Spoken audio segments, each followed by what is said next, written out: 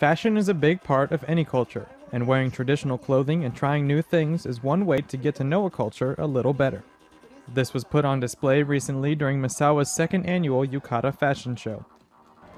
Uh, yukata is like a summer version kimono and made of cotton. It's simple and easy and Japanese people love to wear during summertime, especially uh, events such as uh, Tanabata Festival.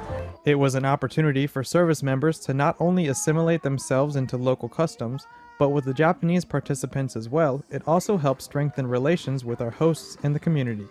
We met a couple people tonight that, um, you know, we don't speak Japanese yet, and they didn't speak English, but we were laughing about the same things and um, enjoying ourselves together and dancing to the music together, and that was really fun. Petty Officer Ben Larscheid, Misawa Air Base, Japan.